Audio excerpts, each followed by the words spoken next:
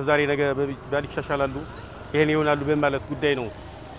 መንግስትም የትግራይን ህዝብ ማየት በአንድ በውሃት እነሱ የትግራይ ህዝብ ከውሃት ጋር አይደመርም በሚል ጉዳይ ባለው ሁኔታ ነው። እስካሁንም በቸልተኝነት ነው መንግስትን ታግሷቸው ነበረ። እነሱም በየቦታው የምታየው በዚህ በወለጋም በቤልሻንጉል ጉሙዝም በዚህም ንጹህ ህዝብ እየተጨፈጨፈ እያለቀ ምንም የማወቅ ሴቶች፣ ህፃናቶች፣ ገበሬዎች እያለቁበት ያለ ሁኔታ ነው ያለ። አሁንም ደግሞ ነገሮች ሁሉ አላስፈላጊ ሁኔታ የምናየው በየቦታው ትንኮሳ፣ የመንግስትም ታጋሽነት በዛ፣ እነሱም የምታየው ነገር እየሆነ ነው እና አሁንም ያለው ጉዳይ ወጣቱ ራሱን አስተባብሮ ባለው ሁኔታው ነገር እንዲጋፈጥና ራሱ እንዲያስከበር ነው የምፈልገው። በዚህ ሰሞን ባለው ችግር ሁላችንም ስሜታዊ ነን። ቢሆንም ግን ቅድመ ጥንቃቄ ከኛ ይጠበቃል። እንዴት ነው የመንግስታችን አቃተው ወይ የሚል ጉዳይ የነበረው። አሁን ግን እነሱ ባመጡት ግን መንግስታችን ግን አቅቶት ሳይሆን በሰከነ መልኩ ልርታ በማለት በሰከነ መልኩ ላስተምር በማለት እየታገለ ያለው ሚና ጥሩ ነው።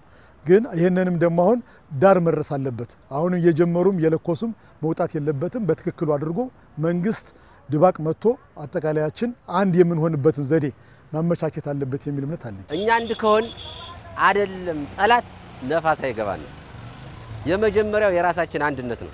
ከፖሊስ ጋር ወጣቱ በቅንጅት እየሰራ ራሱን እያስከበረ አካባቢውን እየጠበቀ እንዲህ አይነት ትንኮሳም ለፖሊስ መረጃ እየሰጠ ቢፈልግ ወጣቱ መታጠቅ መቻል አለበት።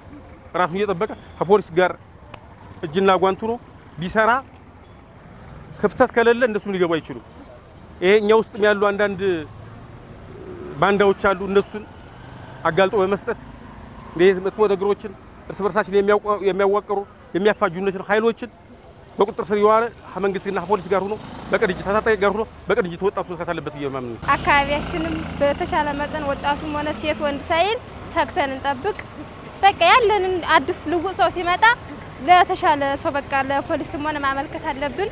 ህዝባችን እዛ እያለቀ እኛም እዚህ እንትን ማለት የለብን። ሰላማዊ ሰልፍ ወጥተን ማድረግ ያለብን ማድረግ አለብን። በቃ እዛ የኛ እህት ወንድም እዛ እዚህ የሚደርሳል እኮ እዛ ዳር ስለሆነ ብቻ አይደለም፣ እዛ ሲያልቅ ወደዚህ መግባቱ አይቀርም። ስለዚህ አካባቢያችንም ሆነ ቤተክርስቲያናችንም ሆነ መጠበቅ ግድ ይለናል። እናንተም እንዲሁ አዲስ ነገር ሲሆን መረጃ ትሸፍኑ አውጡ። አካባቢውን ራሱ ህብረተሰቡ ነው የሚጠብቀው። ምክንያቱም የፖሊስ ሰራዊቶች አሉን፣ መከላከያዎች አሉ፣ ልዩ ኃይሉም አለ፣ ሚሊሻዎችም አሉ።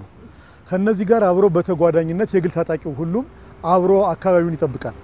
ድንበር ላይ ሲከድ የኛ መንግስታችንና ወታደሮቻችን እነዚያ ላይ ሲዋጉ፣ ህብረተሰቡ ደግሞ እዚህ ውስጥ ያለውን አካባቢ በትክክል እየተቆጣጠረ አብሮ የሚሰራበት በጋራ ሆኖ የሚሰራበት ጉዳይ ነው። ሰላም ለሁላችንም ስለሆነ የኤርትራም ሆነ የትግራይ ህዝብ የኛ ጠላታችን አይደለም። ህዝቡ እንደ ህዝብ ጠላታችን እስካልሆነ ድረስ መንግስት ላይ የሚደረገው ነገር በጥቂት ግለሰቦች የተነሳ የህወሓት መሪዎች ላይ መበጣበጥ የሌለብን ስለሆነ እነሱን በቁጥጥር ስር አድርጎ በመንግስታዊ ስልቱ መሰረት ላይ የሚፈጸምባቸው ጉዳዮችን እያመቻችን እንሄዳለን የሚል እምነት ነው ያለ።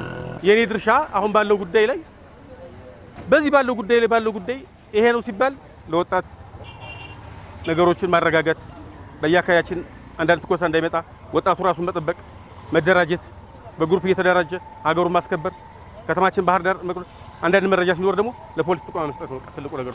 እኛ አለን፣ አይዟችሁ፣ በርቱ። እኛ በምንሄድበት መንገድ እንንቀሳቀስ፣ ጎናችን ይበርታ።